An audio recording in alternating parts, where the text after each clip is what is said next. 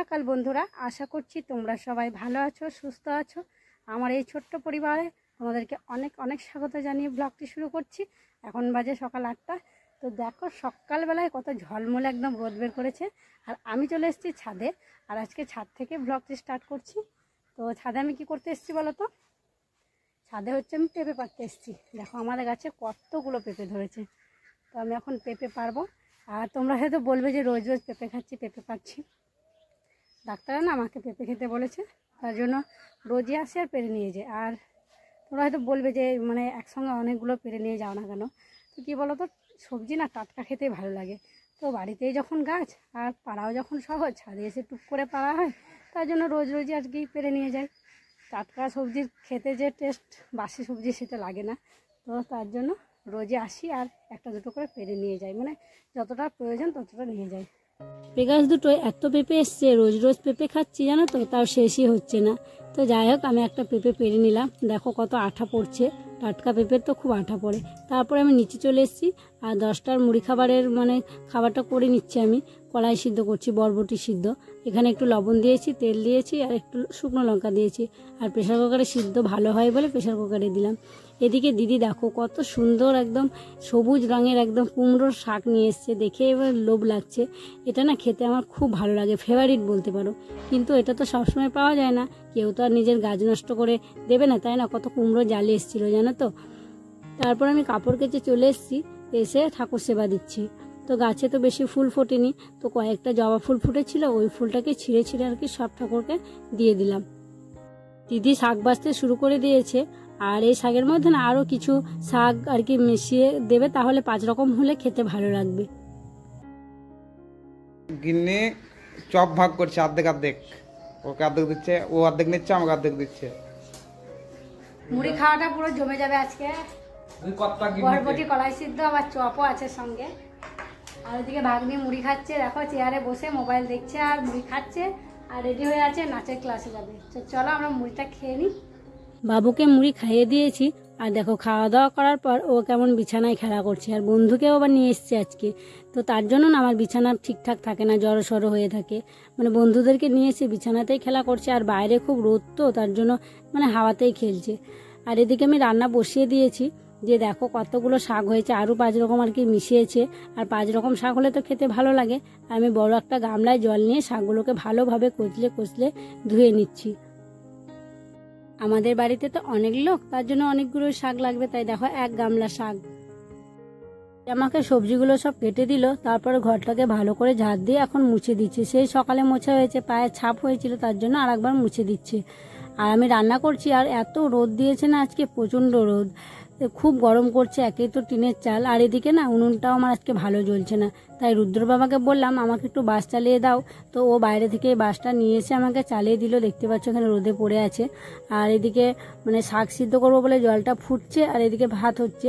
আর ডিমগুলো আগে সিদ্ধ করে নিয়েছি। আজকে করব আলু দিয়ে, ডিম দিয়ে ঝোল।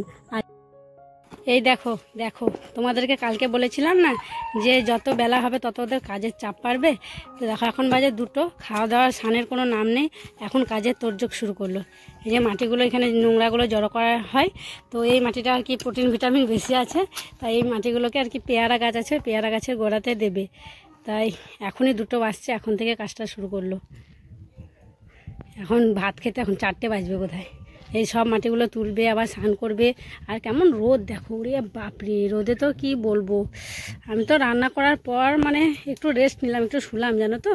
ছাটপাট হয়ে একটু মাজাটা ছাট করলাম। এত গরম লেগেছিল না আজকে আমাকে কি বলব? বেগুন গাছগুলো ভালো হচ্ছে না এখানে কেড়ে নেই লাগছে কত? ওষুধ দিতে হবে কিছু। তো এখানে এই পেয়ারা গাছটায় দিচ্ছে দিয়ে আবার ওইখানটায় যে আমাদের মাটির চালাটা আছে ওখানে একটা গাছ আছে ওখানটায় দেবে। তারপরে ও স্নান টান করবে। তাড়াতাড়ি করো তো তাড়াতাড়ি করো। আমার কখন রান্না বান্না হয়ে গেছে, একটু রেস্ট পাবো, খাওয়া দাওয়ার পর। রুদ্র বাবা তো ওখানটায় পরিষ্কার করছে, তো আমি ভাবলাম ওর সময় লাগবে তো আমি হাঁড়ি কড়াটা মেজে নিই, তাই পুকুরে চলে এসেছি।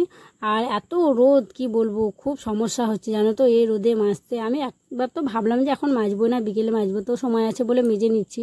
আর কি বলো তো বন্ধুরা, জীবনে চলার পথে না সমস্যা তো আসবেই। সেই সমস্যার সমাধান আমাদেরকেই করতে হবে। যতই রোদ হোক, জল হোক, বৃষ্টি হোক, যাই হোক না কেন, সমস্যার সমাধান নিজেদেরকেই করে নিতে হবে, তাই না বলো? রুদ্রর বাবা স্নান করে চলে এসছে আর আমি ওকে খেতে দিয়ে দিলাম। আজকে হয়েছে পাঁচমেশালি শাক, আলু ভাতে আলু ডিমের ঝোল, আর একটু গাঢ় করে টক করেছি।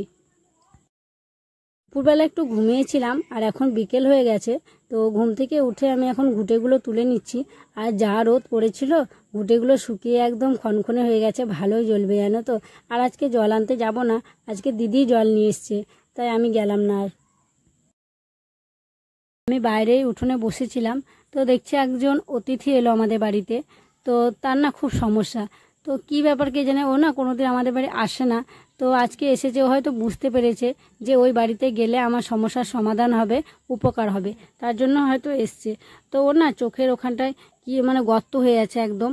তো রক্ত পড়ছে, এবার মনে হচ্ছে যেন চোখ তুলে নিলে যেমন গর্ত হয়ে থাকে না, একদম ওই রকমটা হয়ে আছে। খুব দেখে না ময়া লাগছিল, জানো তো। আর কোনো দিন আসে না, এসছে। তো ডাকছিলাম, আসতে চাইছিল না কাছে। তো রুদ্রর বাবা ভাত নিয়ে এলো থালাতে করে, কিন্তু থালাতে ও ভাত কিছুতেই খাচ্ছিল না, ভয় পাচ্ছিল, জানো তো? মানে দূরে দূরে সরে সরে যাচ্ছিল। আর রুদ্রর বাবা না, এই সবগুলো খুব ভালো পারে, জানো তো? এই ওষুধ লাগানো তো দেখে খুব কষ্ট হচ্ছিল বলে, ও সেই ওষুধগুলো হয় না, কাটার তো ওষুধটা নিয়ে এসছে সিরিঞ্চি করে। আর থালাতে তো কিছুতেই ভাত খেলো না, মাটিতে দিল তখন, হাত বুলাচ্ছে একটু, তখন আবার একটু খেলো। দিয়ে ওষুধ লাগাবার জন্য দেখো বসছে, এবার ওষুধটা লাগাবে। রুদ্রর বাবার না, যদি কোনো পশুর কিছু হয় না, ওর না খুব কষ্ট হয়, জানো তো? তাই ওষুধ নিয়েই রাখে, আর দেখো ওকে ওষুধটা লাগিয়ে দিল। কি বলো তো গরু বলো, ছাগল বলো, কুকুর বলো, যদি কারও কিছু হয়, খুব কষ্ট হয়, আমারও খুব কষ্ট হয়। তাই আর থাকতে পারল না ওকে ওষুধ লাগিয়ে দিল। আর কি বলো তো একটা মানুষ হয়ে মানুষের সঙ্গে বিশ্বাসঘাতকতা করে মানুষকে ঠকায়। কিন্তু একজন পশু, ছাগল বলো, গরু বলো, কুকুর বলো, কোনোদিনই কিন্তু কোনো মানুষকে ঠকাবে না। তাই না? ওষুধ লাগানো হয়ে গেছে। আর আমরা ভিডিওটা বড় করছি না, ভিডিওটা এখানে শেষ করছি। তোমরা সবাই ভালো থেকো, সুস্থ থেকো। দেখা হচ্ছে নেক্সট ব্লগে।